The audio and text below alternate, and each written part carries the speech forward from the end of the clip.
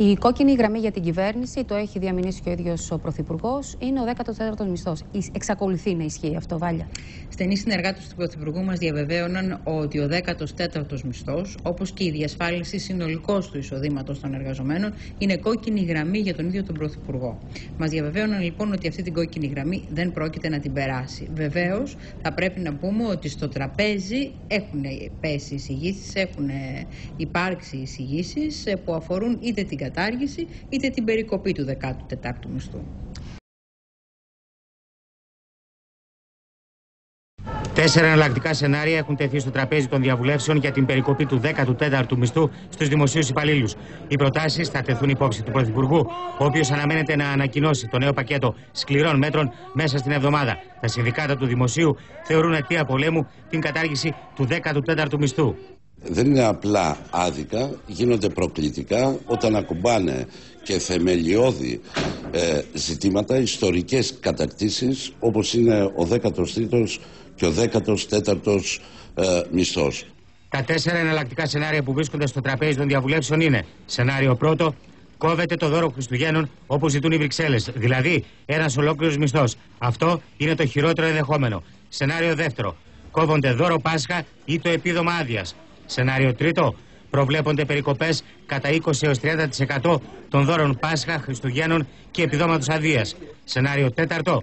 Περικόπτονται κατά ένα ποσοστό τα δώρα Χριστουγέννων και Πάσχα, καθώς και το επίδομα άδειας και παράλληλα ψαλιδίζονται επιπλέον κατά 10% τα επιδόματα των δημοσίων υπαλλήλων. Εναλλακτικά, μαζί με το επιπλέον ψαλίδι κατά 10% στα ειδικά επιδόματα, κόβεται το δώρο του Πάσχα ή το επίδομα άδειας. Ανάλογα με ποιο από τα τέσσερα σενάρια εφαρμοστεί, ένας δημόσιος υπάλληλος με μισθό 1.500 ευρώ το μήνα θα έχει απώλειες από 775 ευρώ ως 1.500 ευρώ το χρόνο. Ένας εργαζόμενος στην καθαριότητα που δουλεύω και ο ίδιος, με τις μέχρι τώρα εξαγγελίες θα έχει τουλάχιστον 111 ευρώ λιγότερο μισθό το μήνα. Τα σενάρια και περικοπές του 14ου μισθού προκαλούν τις έντονες αντιδράσεις των συνδικάτων.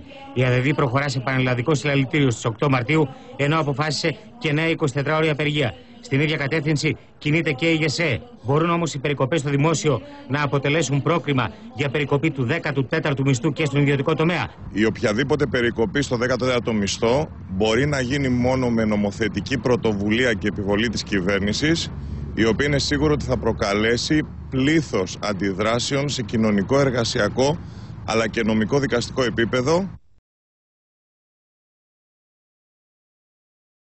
Στέλιο, να σε ρωτήσω πρώτα εγώ κάτι. Υπάρχει περίπτωση ε, να μην καταβληθεί δώρο Πάσχα ή να καταβληθεί μειωμένο δώρο Πάσχα τώρα σε 20-25 μέρες που ο νόμος προβλέπει ότι πρέπει να καταβληθεί στους μισθωτούς του δημόσιου ή και του ιδιωτικού τομέα; Αν τολμήσει να κάνει μια, κάτι τόξο ρηξικέλευτο κυβέρνηση, ναι, θα μπορούσε να συμβεί αυτό το πράγμα. Δηλαδή δεν είναι εκτός σχεδιασμών, δεν έχει αποκλειστεί Όλα είναι αυτό. Στο τραπέζι. Όχι.